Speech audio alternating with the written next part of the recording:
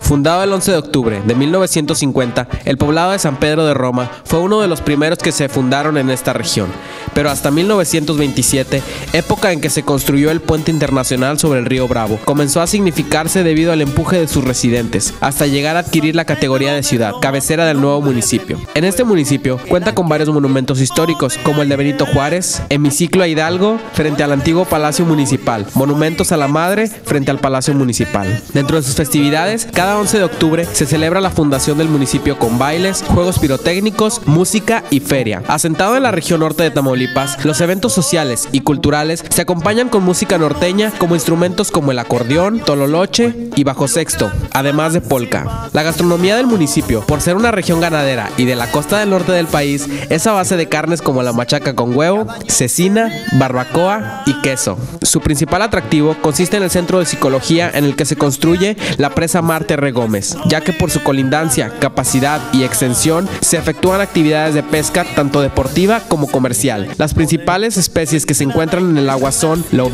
bagre, carpa, besugo, matalote y langostino. Para el municipio de la semana, reporte 43.